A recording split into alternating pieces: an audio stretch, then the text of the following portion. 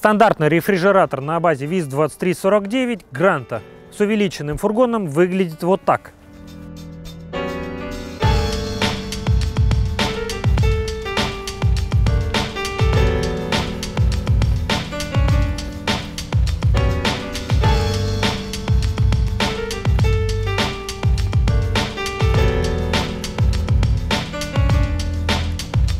Базовое шасси ВИЗ-2349 Гранта, переднеприводное, в стандартной комплектации белого цвета. Изотермический фургон увеличенных размеров. Длина 220, ширина 172 сантиметров, высота 1500 миллиметров. Задние распашные двери, настил пола сетчатая фанера, облицовка фургона блокированная сталь, а также дополнительная боковая дверь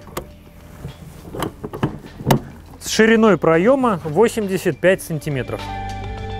Ну и, наконец, холодильно-отопительная установка российского производства марки Fridge, модель 1000H, которая работает как на охлаждение, так и на обогрев.